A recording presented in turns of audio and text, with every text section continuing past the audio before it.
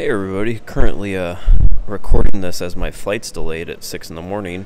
Go to startingstrongman.com slash apparel, free shipping, use code barbecue15, or barbecue, yeah, 16. Anyways, some strict press, where you can see how fat I am. Also have a new mic, so we'll see how this audio is. It was really hot this week, so no shirt. My whole goal is to be able to lift uh, and video lift without a shirt on and video it from the front. From the back is one thing, especially wearing a Giants Pro belt, which is like a strongman girdle. Here's 140. Um, felt okay. I just try to go below my chin on reps. I feel that that's fine.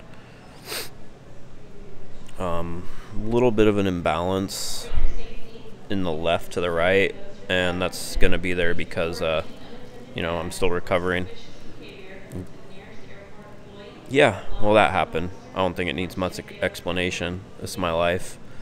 And uh, Willow interrupts me while I deadlift. Don't you hate that guy? Well, you're trying to film your lifts and he gets in your way. Anyways, here's some deadlifts. Uh, this I only filmed the deadlifts this week. I did some squats and some bench, but deadlifts felt really good. I've had a great deadlift day and then a horrible squat day. I'm learning that right now with how my recovery is. I can't really have two good ones in both weeks, so I might uh, adjust that um, and how I program. So we'll see.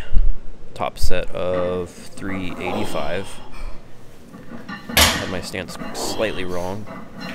Trying to be slow on the centric and build it up. Up to a set of 10. And even though I've deadlifted 525, I feel this is the best and strongest that my deadlift has felt. Um, wearing the WOW straps, again, pretty much everything I use, I decided to also sell.